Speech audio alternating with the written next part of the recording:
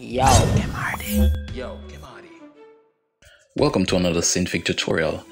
So today we will be creating a loading animation, something similar to this one right here. Now this was created by one of the members of the Synfig community.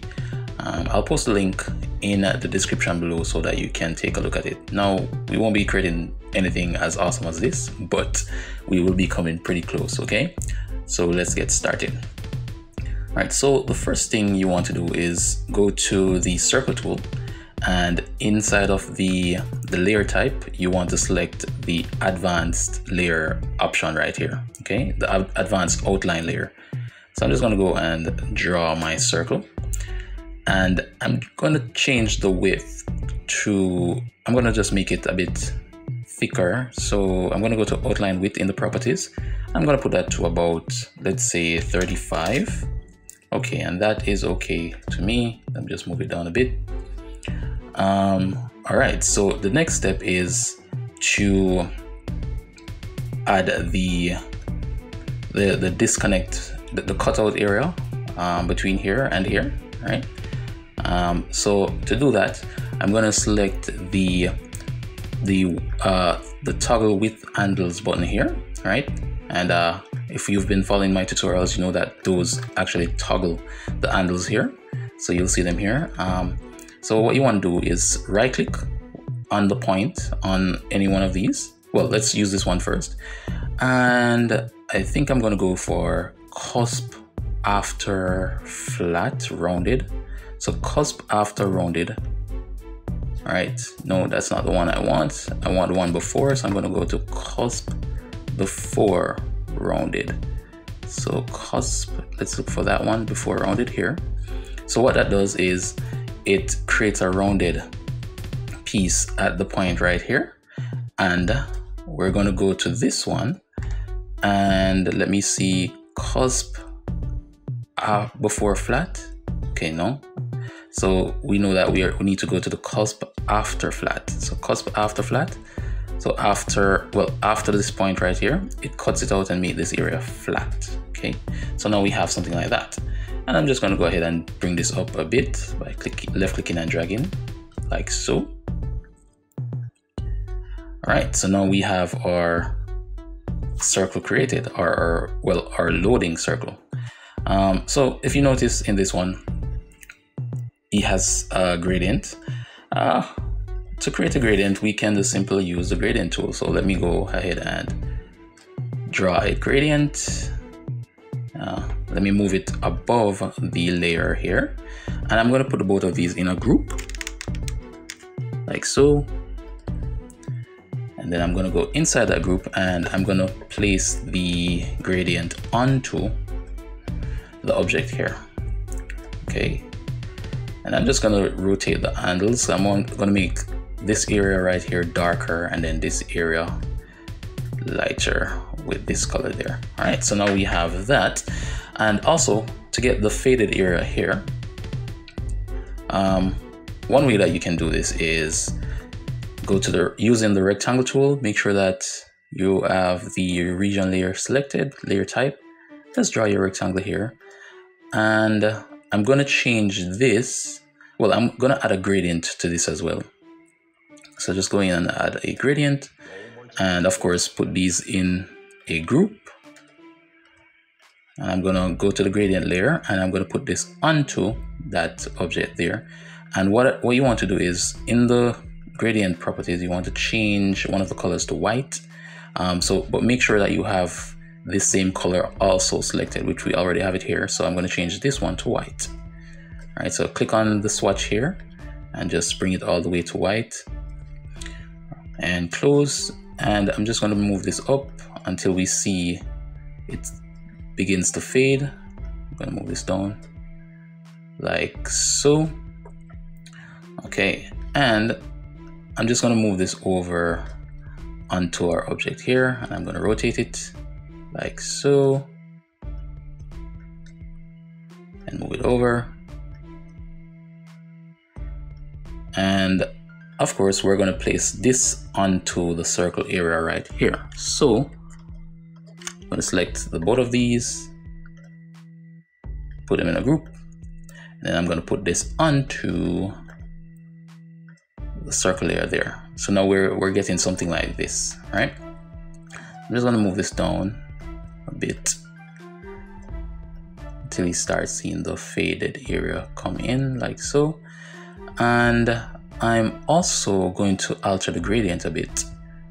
So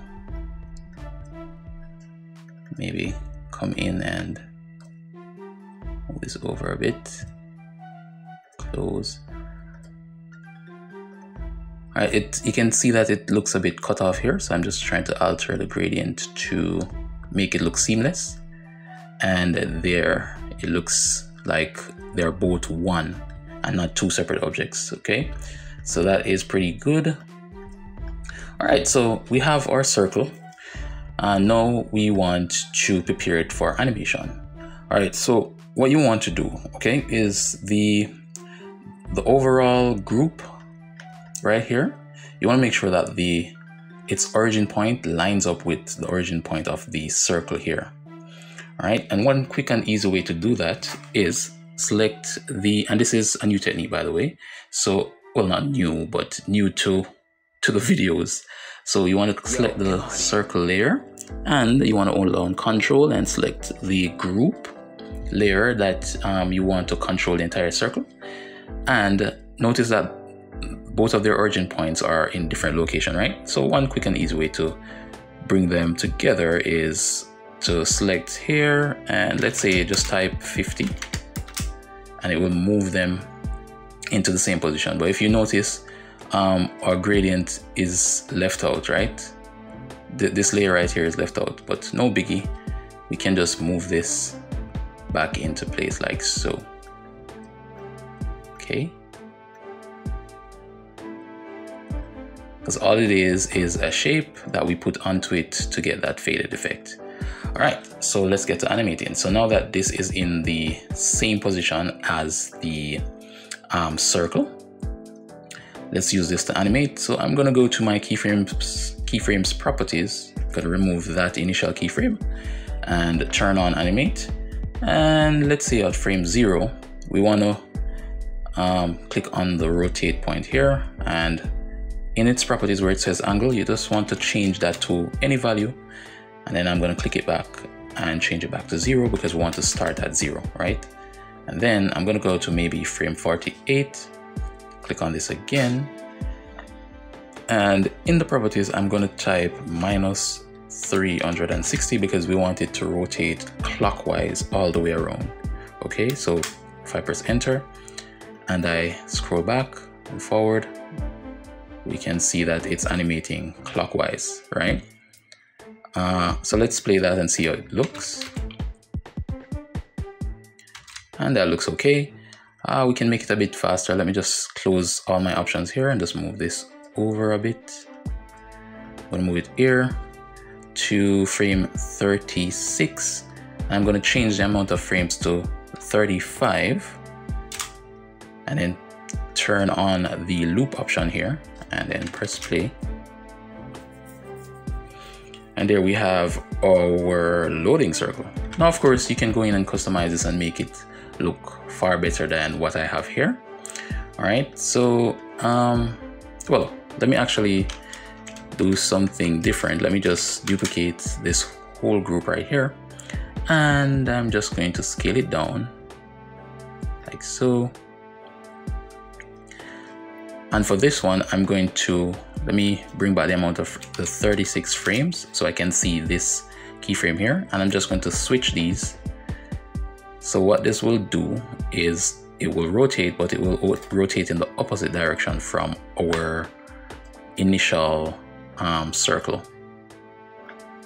Move this down move this over and move this down and change it back to 35 and the reason why I changed it to 35, um, the, the animation lasts for 36 frames, right? But the 36th frame is the same as the first one here. So when it reaches 35, it will automatically go back to this one, which is the same as 36. So I cut it down to 35. So once it goes to the 35th frame, it goes back to this, which is the same thing as the 36th frame. All right.